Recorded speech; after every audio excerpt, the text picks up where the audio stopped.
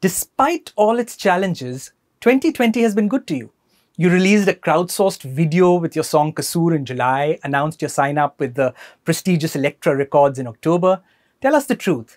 Did a loner like you get charged up by the solitude lockdown had to offer?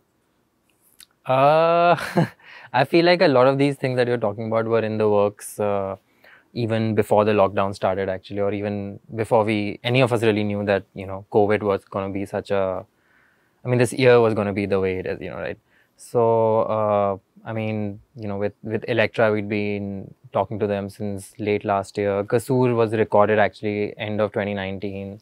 So, uh, yeah, it was all, all already uh, kind of in, in motion. Right. One personal anomaly you display, despite being millennial, is that you're fairly private as a person.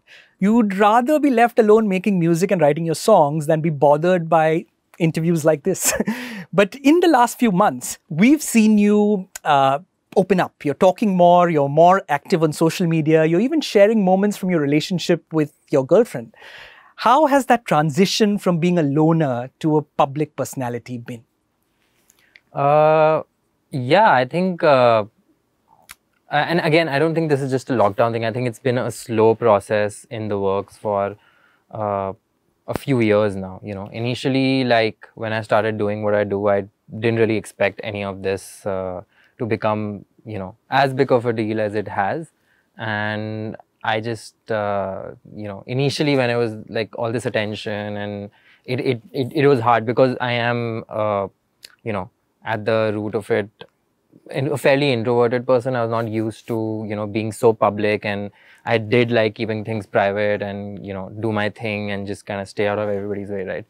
And uh, so that took a little bit getting used to, but eventually I realized that, look, uh, this is my life, this is what I've chosen. And I love, you know, doing what I do. I love, you know, living my life as, as a musician and touring and all of this. And all of this comes with it, you know, it's like you can't just pick one thing and then like, you know, do all the other stuff really badly. So, and, and I'm the kind of person who likes doing everything uh, to the best of my ability. So at some point, I just kind of like switched and I was like, look, I gotta just like embrace this reality that I'm in and do the best and function the best that I can, you know.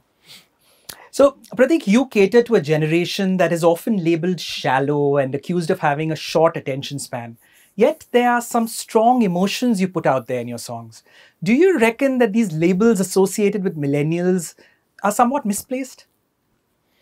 Mm, yeah, I mean, you know, like I know so many people who are uh, uh, my age. I mean, which are you know like millennials, right? And uh, I, I, I don't really find them to be shallow, and uh, and that's just how people are, man. I mean, uh, you know, there've been shallow people you know in the 20s and the 50s in and like they, in every generation and they're going to be more shallow people who are going to come and there's also going to be really good people who are going to come. I mean that's how humans are you know. Right.